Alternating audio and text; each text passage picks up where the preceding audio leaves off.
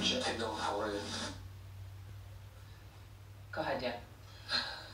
The, the parallels are, are interesting because what we're now starting to see is there are some tapes. I don't think they're the smoke and gun tapes that thus far Right. that existed in, in Nixon's case.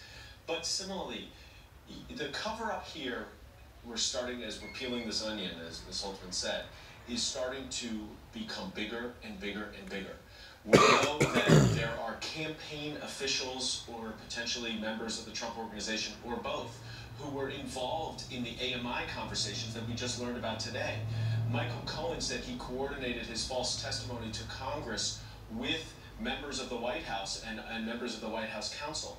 The, the smoke around the cover up here is starting to really billow and it is getting bigger and bigger and bigger. And what you're also seeing is that when confronted with it, people fold. Michael Cohen folded. AMI, David Pecker, his close friend, is folding. People don't want to go to jail.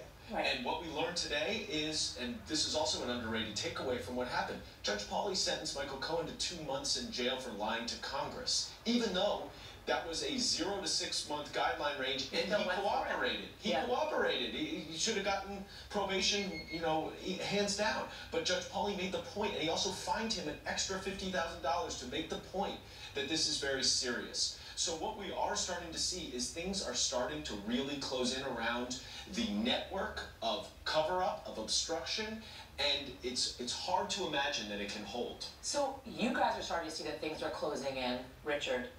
But is Washington, are Republicans starting to see that things are closing in? Because so far, what we have seen as Republicans have stood by the president and said he's done uh, nothing wrong. At what point is the straw going to break the camel's back? Because as Dan just put it, I mean, i i there's a lot, there's a lot, a lot of things are closing in on, on the president right now. Well, publicly, the Republicans, or many of them, still supporting the president, but this is a very bad situation for the president. The president's lawyer got three years in prison for crimes that he committed on behalf of the president, his client. And that's not just the payoffs for these women that were illegal campaign expenditures, uh, but a range of different crimes. If the lawyer gets three years, how much time should the client get?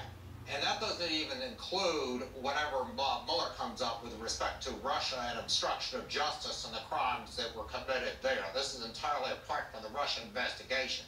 Donald Trump is in serious trouble. His lawyers ought to be telling him to negotiate a plea deal. It's time to negotiate a comprehensive plea deal for Donald Trump to include federal and state charges, reduce charges in return for his resignation. That's where this ought to be headed. That's where the Republicans in Congress ought to be driving this toward a comprehensive plea deal uh, for Donald Trump and his family members. Get him out of the White House, ha- have him resign, plead guilty to lower charges, and let's move on as a country because it's quite clear his, his goose is cooked here. So you have Richard